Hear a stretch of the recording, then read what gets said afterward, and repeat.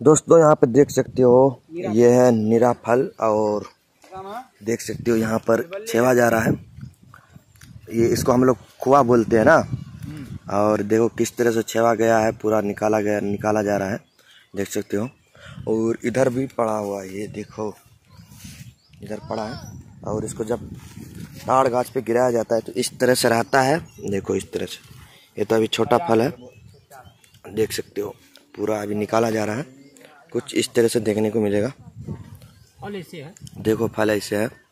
एक नंबर फल है। और ये मार्केट में बिकता है महँगा में क्या? हाँ।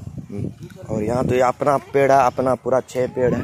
देख सकते हो यही सब पेड़ है। इसमें से गिराया गया है देख सकते हो। अभी पूरा ही निकालेंगे उसके बाद लेके जाएँगे हम लोग घर। तो ये देख सकते हो पूरे बगीचे के अंदर। यहीं पर इस तरह से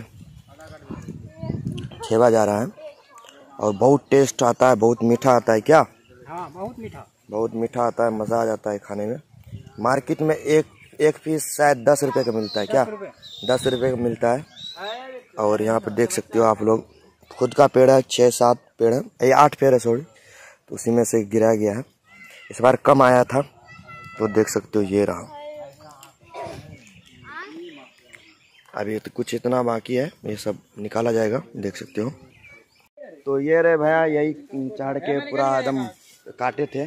तो साल में एक मरतबा आता है फल फल हाँ का नाम। एक मरतबा आता है। अरे फल का नाम क्या है बताओ? फल का नाम है कुआ कुआ नाम है। नीरा फल। नीरा फल देहाती भाषा में बोला जाता है बिहार में। हाँ। तो जैसा कि आप लोग देखे कैसा लगा आप लोग खाए हो तो कमेंट में बताना। दोस्तों जैसा कि आप लोग देखे कि वो पूरा हो गया ये देख सकते हो पूरा छेवा हो गया है। तो ये देखो भाई देख सकते हो कुछ वहाँ पे इतना रखा हुआ है तो देख सकते हो। तो जैसा कि आप लोग देखे ये रहा पूरा फल। अब ये सब हम लोग घर लेके जाएँगे। तो गाइज़ ये देखो मैं एक एकदम बनवा के लिया हूँ एक एक दोस्त आ रहा है, उसी को देंगे। तो देख सकते हो एकदम मज़े में। सो वो निकल रहे हम लोग। देखो, ये रहा फल, और अभी टेस्ट करते हैं। एक नंबर, बहुत मस्त है।